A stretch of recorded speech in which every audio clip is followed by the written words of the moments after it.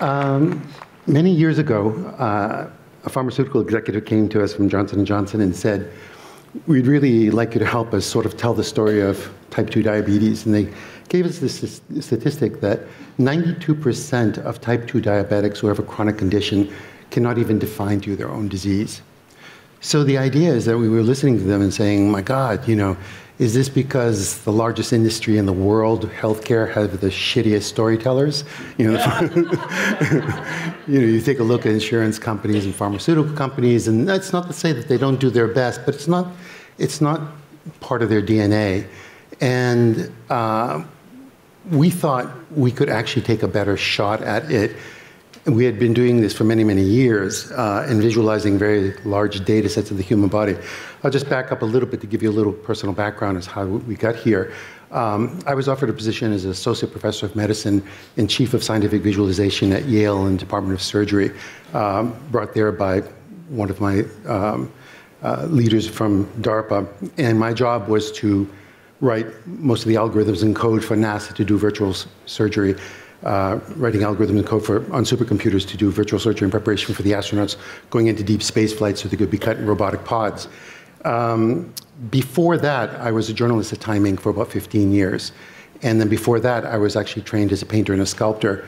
Uh, I actually even went to RISD, one of the many schools I was thrown out of. But, uh, the thing is that I thought if we actually used our, our artistic and our storytelling and our technology we could do so much better than all these other people and really move the dial on type 2 diabetes and really get people to sort of have that holy shit, I finally get it moment. Uh, because one of the things we were recognizing is the fact that what we had in the industry at the moment is a thing called obligatory compliance. Do it because an expert tells you to do it. And inevitably, there's a fall off, a tremendous fall off. And I was just lecturing in Southeast Asia, problems, same problems there and we felt like if we could really tell you that kind of compelling story, that we could actually change the paradigm and make it inspirational compliance. Do it because you get it, because you're a partner in the process. In the end, what happened was that we were somewhat arrogant and we didn't really change the dial. We could actually inspire people for a longer period of time, but and the stories were beautiful and they were comprehensive and people, you know, plotted it, but the thing is that we didn't move the dial. And the reason is that people have tremendous deniability. It's always a proxy story, it's not you. And so we're sitting there saying, oh my God, how do I tell everyone the story of every billions of people, your individual story? As I was looking at it, I'm sitting there saying, okay, well, let's get away from scientific visualization. Let's look at some other programs where basically know who you are, where you are at any point in time. If you really look at it, something like Google Maps knows a lot about you, whether you're eating pizza, whether you're where you are, all this kind of information. So I looked at the history of, of Google Maps, and it was actually starting off with a company called Keyhole. What they did is they picked up all of the NASA pictures from 90, 1956 to the present. They digitized them, those that weren't digitized. They basically created a content management system, and they knew the longitudinal and latitude studies of the Earth and basically mapped it, working with a little you know, kind of widget. And what happened is Google saw it at a TED conference thought it was beautiful and said, let's buy it. We don't know what we're going to do with it. So I said, you know, the thing is, it's interesting is that at, when I was at Yale and other places, at DARPA and these other places, we had been scanning every part of the human body from the moment of conception until advanced age, every aspect of it from the molecular to the gross anatomy. So I had the NASA equivalent of all the body parts and pathologies over time. And I could write a content management system. But what is our longitudinal latitude study that is of each person's body. We found it in a thing called HL7, which most people have never heard of. But basically, what most people don't really understand, you're all already coded. HL7 was a standardization of called Health Level 7 Now International, where we had to have a standardization that basically allowed someone to say, this pathology is this number, and this is the degree, and here are the lab reports they're getting, and here are the drugs they're taking, and they're standardized. So every electronic medical record in the world, every government, you can take your medical records from one place to another, and they just be imported. And so we're sitting there saying, okay, let's take HL7, but the problem is, HL7 is like looking at hieroglyphics. Your medical records are like looking at hieroglyphics. And since we were sitting there saying, it's a lot of data, but we need to turn it into a story. So every part of that you know, millions of codes, we took and basically coded it to a story that actually turns your body into a story of you and not the statistics of you. So let me show you how we did it. Um, the first part is you actually have to take four kind of mega parts of the industry. You have to take one of the largest visual libraries in the world and code it in great detail. You have to build a 1,100,000 code system, content management system, that takes every piece of code and then marries it to your personal health record. So that when the data comes in, and we see those hieroglyphics, we strip that crap out and send you a beautiful story of what that hieroglyphic actually means, converting you into a story that understands from your lab reports to the drugs. And the next part we're doing is we're building a practice management system that will allow any institution in the world to use our system to build their own platform to write a protocol to manage you. It doesn't make any difference what the conditions are. So I'll, I'll work through each one of these for you so that you can get a kind of a clear understanding. So the first part was big, taking all of this content, all of this information, and having to convert it. We wanted to make it beautiful, visceral and visual, but every aspect of it, you know, whether you're talking about a cancer, the information had to be in here in detail. So what we did is we partnered with the NIH, um, uh, CDC, and a number of other groups, National Library of Medicine. And what we did is we converted the content. The problem with a lot of the government organizations it have great content, you just can't find it. It's like what they used to say about uh, the internet before search. It was like walking into the Library of Congress, except all the books were on the floor. And that's what it's like when you actually go out searching for this data. So what we have to do is take all of this kind of rich data and visualize every part of it, code it, and be able to send it to you at any point every aspect of whatever kind of question you may be asking yourself during this period of time is now visualized. Early detection. Giving you, whether it's in stage one, two, three, or four, all the information is here last. for each stage of that period. With this, it doesn't make any difference what the disease state is. We have over 2,000 uh, disease conditions, and what we did is we matched it up so that at the bottom of all of this, not only would you get a beautiful video with every article, illustrations, information about every part of it, but at the end, you would also get related topics cancer prevention, screening, various kinds of biomarkers that would be necessary. People always talking about, you know, BRCA, you know, genetic testing. So what we also had to do was write one of the kind of largest biomarker libraries where we read your biomarkers and now we tell you a beautiful story of what the biomarker, but also if you're in the positive range or no matter what may be, we now have the story of what relative program that this is all now going to be sent to you automatically as we see them. And we call it a time of need or a time of want. A time of need is you've been flagged. A time of want is maybe you're a caretaker for a parent or a child. So with this, we realized the fact that we had so many stories that had to be, and we wanted to, eh, you know, basically uh, allow physicians or people to educate themselves just beyond the disease state. Because a lot of times when people, when we would tell the story when I was at Time, it was a very simple formula. You know, uh, the marvel of how you're made is part one. What went wrong? And, and the third is, what do I do about it? And so the problem is, it's very hard for physicians to explain to you what went wrong when you don't have that first. And I don't call it um, you know, the anatomy. I call it the marvel because when you actually look at a functioning, you know, biological presence, when you take a look at the heart functioning and the coronary arteries, I mean, the way they function, the complexities are just an absolute marvel. So we wanted to give people an understanding of also the normal because we had so many beautiful kind of normal, but again, in video format, where we're talking about the liver. pathology or using our visualization technology, coming back to the kind of uh, idea, whether you're talking about lipoprotein, again, the biomarkers that are necessary, all the different kinds of biomarkers that you would want during this period of time, what they would represent, atherosclerosis, coronary artery heart attack, peripheral, you know, all of them, again, are within the system. But one of the parts that we really wanted to have was the, um, the arteries themselves, the just, just normal arteries. Just what does it look like? And if a physician wants to explain to you the beauty of it, we built galleries for them, for people to educate themselves on the normal, as well as galleries to build on the pathologies. So you have videos on the normal, you have videos on the pathologies, and now they can actually use our interactive tools and they can say this coronary, I'm got a 3D heart here, and this is the artery that I'm actually going to do the stent. So each step along the way was to facilitate someone to give you that holy shit, I finally get it moment. At the same time, we kept on pushing the envelope on content, building little Java apps and things like that. What's it feel like to be a dyslexic? You know, so it was always just pushing them. And we're only talking about the four platforms we had to build. We're just still looking at the first one. But the idea was to build it so it answered all of your questions and in a visceral and visual manner. And with this, whether you're talking about dyslexia or you're talking about Alzheimer's disease, you can see the beautiful gyri and sulci of the brain that are holding, folding, that increase the capacity to hold more and more memories. All of this was, you know, just sort of melts away. And as you have this before and after, but again, you have at the end of this, you have all the information, the risks, the causes, the signs, videos for each and every one. You have the, you know, the proper text uh, related information, the, the biomarkers that you should be testing for.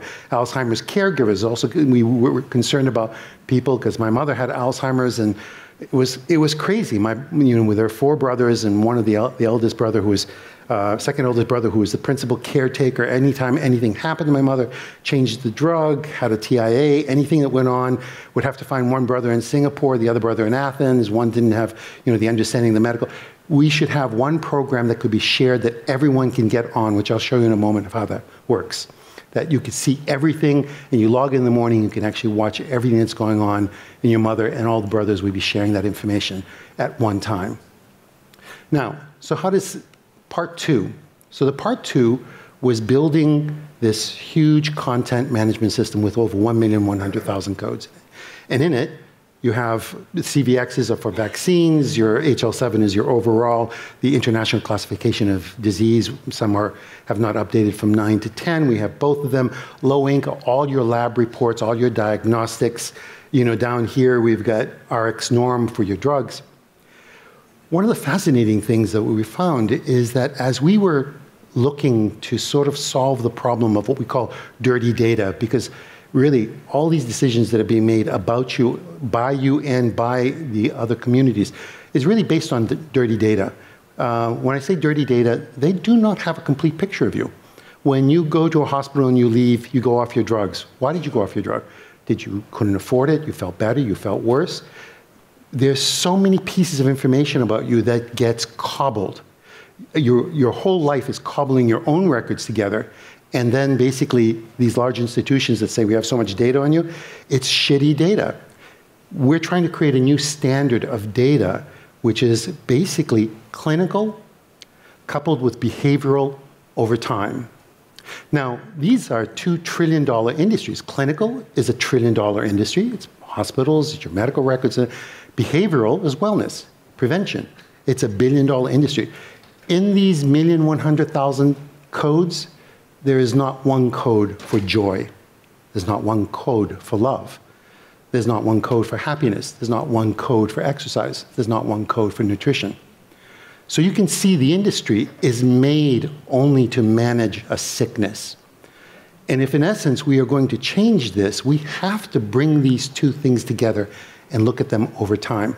So what we did is we imported a system called MESH, which is used by PubMed, basically academic papers, which do indeed, eh, it's not really used this way, but we're using it, we're coding it because it has these other codes in them, and we're going to use them to sort of marry the behavioral so that we have a complete uh, picture of you. And with these, every one of these, you can get as, we, as you can see, all the metadata is built into the system. These are the ICD codes. All this information is here. And you can see in your RxNorms, there's 2,729 pages of drugs that you're looking at here along the way. So there's a lot of coding that has to match up against your storyline. But you are made out of thousands of little biological stories that we want to help you interpret and understand and manage. Because if you don't, that is, that is going to be to your detriment. I mean, the, you will not achieve well being if you do not own yourself. And once you own yourself, you have control over these diagnostics and these treatments and these options that you now are not a patient of, you are a partner of your well being. So from here, we wanted to say from the moment, not, we want you to have one medical record from preconception until advanced age. And what's really fascinating about this is I just uh, keynoted a um, big life insurance company, and this was one of these life insurance companies where you have to have a portfolio of 20 million and above. To, and there's all these wealthy people there, and the chairman of the insurance company said, "You know, Alexander, I was just you know at the Mayo Clinic, and I just got a virtual colonoscopy, but you know, I was playing golf in Florida, and you know, I had a little cardiac episode that got scanned there. But I live in New York City, and I'm, I'm you know, I have a rotator cuff problem. I'm getting scanned at the hospital for special surgery." And his name was Alex. I said, Alex, I mean, this is I said, this is, this is fucking nuts, man. I said, you know, in one year, your, your colon's in Minnesota, your heart's in Florida, and your shoulders in New York. I mean, you are, you know, you're spread around the world. You should have one medical record that goes with you, that you own yourself. So from the time from preconception, IVF, every piece of that information is in here to guide you through that program person can open up. We made it like a Netflix, so that basically you just keep on wanting to scroll and look at information on and on and on. But every question that you could have within this category. Now, a person who may be actually using it to manage their journey, this is a, uh, now you're going to the third part, which is the personal health record. This was a very interesting thing to build because you have to be both HIPAA and GDPR compliant which are the kind of privacy laws of Europe and America, and make sure that basically people's materials are safe. But what you find that older people are absolutely paranoid of anyone seeing their medical records, and young people share everything. You know, and it's crazy. And so you're building a program where you can share uh, and still be, you know, tightly compliant was a was a challenge. But we ended up doing it. But as you can see here, this woman, Beth, can, you know, basically she has, she can invite users, she can create a community, she can create a group, she can manage a group, she can actually invite her provider. Uh, all this information, she can import her medical records using a CCD, which is called a continuity care document. All, everyone always talks about electronic medical records, but there is an interchangeability, you know, either FHIR or CCD, a continuity care document that you can import. And it's, and people keep on saying, oh, medical records, um, uh, you know, are we going to really go there? Well, listen, 15 years ago, you would have never thought of having a port financial portfolio online. You should have a health portfolio online. You know, you upload your bank statement, you know, to a secure server, you download it, and that's it, and it just downloads forever. We do the same thing here. You upload your CCD, your doctor uploads it, and by law, now, what most people do not understand, and you must, you own your medical record. Now, not legally. In the United States, 48 states, the institution owns you except for Alaska and New Hampshire. Only there do you actually own your data. But by law, if you ask for your data, they must give it to you. And so once you get it, you own yourself. All your data will be converted into a story. And with that story, you can now start to input uh, all this kind of information. So there's a person who's basically uh, truncated it so that you know can actually go through it relatively quickly. As you saw some of the IVF information, there's a woman who's going through IVF she's asking the kind of common questions that most people are going backwards now because uh, she's already gone through. This is a timeline base. She said, "When to see the doctor?" You know, she's talking. She found the article and she found this topic. Bob want to finally see, you know, see if I, about a fertility doctor. She doesn't know whether it's her husband or if it's her. So basically, her husband gets the sperm test, gets the sperm analysis, all the information, which all the data will come into their program. Finds out that Bob is okay. She finds out that polycystic ovarian syndrome. She's noting her age and these other. So it's a, it's a, it's a personal health diary where you're basically going through all the kinds of questions that you can actually, one place from the moment of preconception until advanced age, where you will keep your records, the family records, your child's records, all of this information. Now she's taking a look at her ovarian reserve profile, and all of this goes back, and she can upload share information. She's uploading here her own picture. She can annotate it of the egg that is being implanted back in. She finds out that she's pregnant, and then she goes into the pregnancy. there's no reason. For, this is a this is this is totally nuts. On average, women.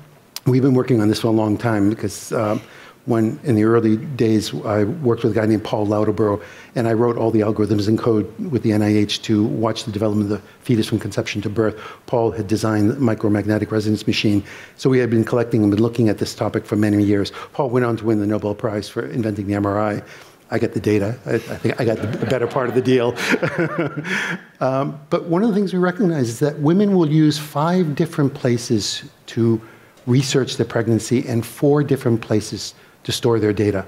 The moment they give birth, that record is worthless. Now they they're cobbling. As I mentioned the word cobbling earlier, they're cobbling. Now they're going to start a new cobbled record for themselves postpartum, and they're going to begin to cobble a record for their child. Should have one record from the moment of conception until advanced age that's basically uh, partnering with you to basically help you understand your pathway to well-being. So as she goes through this, and as you know, she's asking questions about infant formula, she's uploading pictures of her child, what's going on in the second month of development.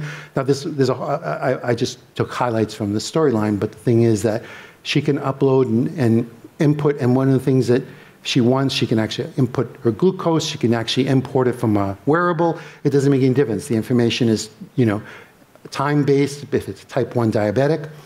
And so fundamentally, if she wants to go and then actually look at her information very quickly, she can actually take only the kind of information that she needs to look at very quickly here on a, on a board.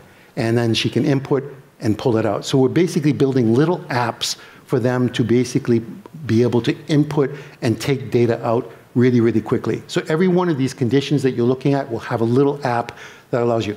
Then she goes on, you know, puts in the information, and we will then, because we know your timeline, this is sometimes when people get, they're afraid because you get too much data on them, but sometimes data can actually work to your advantage, because now I know where you are on your timeline. I can help you out in the sense of the marvel or what's going on inside your body. I can help, I can send you bots of information that is relevant to your experience. The idea is that data is, is now a negative thing when I have data, but data could be a wonderful thing. It can actually help you along the way, every part from the marvel of how you're made to when things go wrong. And so you know, who, who wouldn't want to get this kind of weekly of how, here's how your child's eye is developing inside the womb. All of this kind of beautiful information that we know where you are on the timeline. We can now continue to send this to, information to you. But one of the problems people say, oh, there are apps, there are apps for pregnancy, there are apps. People are complicated. What happens if you have uh, a premature child? What happens if your child ends up in the NICU? Once again, you're deer in the headlight and you're cobbling. And here, all the information, whether it's preeclampsia, no matter what the disease condition, the information is here to help you, guide you through whatever the process is. And you'll be able to monitor your child at a distance. You'll be able to leave the NICU and go home and see the vitals, because basically everything will be pumped into the system. People are complicated. You know, the thing is, she has asthma. Uh, and she wants to see whether her drugs are contraindicated with her, you know, with pregnancy all that information has to be in the system. Now, I'll show you how, in, in a kind of a, a short video, how it could be actually used during a period of time of pregnancy.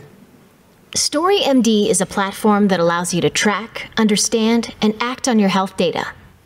Let's see how one mother is using it as she experiences pregnancy for the first time.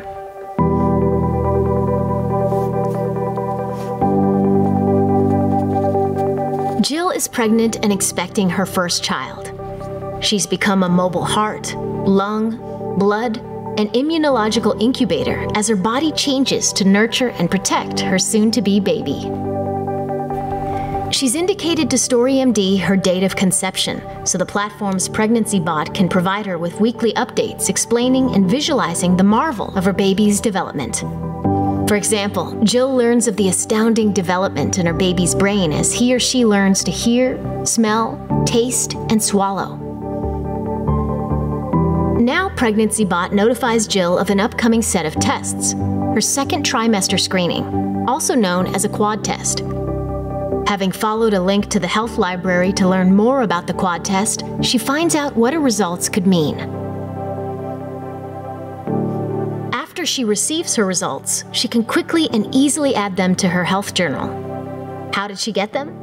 Her physician may have given her an electronic personal health record, called a CCD, or Continuity of Care document, and uploaded that file directly to StoryMD.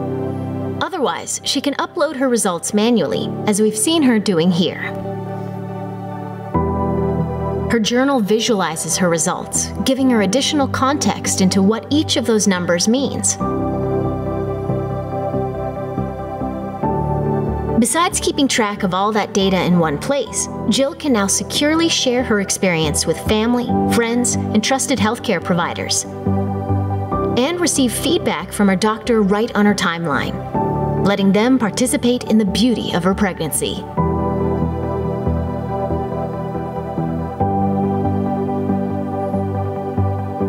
Once the baby has arrived, she can even create an account for her, with its own dashboard where she can manage upcoming tests and vaccinations, and keep track of important health markers, reminders, and conversations with doctors. To begin using StoryMD to track, understand, and manage your All you're looking at is data. But by converting this data into a story, that's why we always say it's, it's, it's story that gives a soul to data. And that is the critical part. People from the time of Homer into the great writers in, in the south of the USA have always been great storytellers on a porch. All I want to do is turn your body into that magnificent story and allow you to understand it. Now, I'll give you a kind of a give you a personal kind of an interesting insight that I had recently uh, with my son. 16 years old, uh, was playing basketball, had an ACL tear, uh, goes up to the hospital for special surgery. We live in New York City. Uh, scared to death, has never been on a gurney in his life. And there's a young girl right next to him. She's scared to death. They don't speak to each other. So, what happens, I was fascinated. Uh, what happened after this was that, as we're looking at the ACL, he is now, in the next three days, reintroduced to that girl from his friends on Snapchat and 22 other kids who had had that operation in the past week create an ad hoc group, and they're all competing against each other about who's freezing the knee more. Hey, why did you have the graft from your groin and I had it from my kneecap? People are hungry for this information. They are desperately hungry. And the idea is if you can service them at their time of need or want, then basically they will be able to actually service what is going on inside their body and those they love, even your pets. And I'll give you one last as we have all the information on pets because it's part of the family member. And I, we take this very seriously because fundamentally, here is my wife and my puppy dog, who's, the, a, a service dog at the Ovarian Cancer Center. And she is a member of our family. But fundamentally, this program is a very simple premise. It is a story of you over time that allows you to truly manage your well being into the future and that of those you love. Thank you.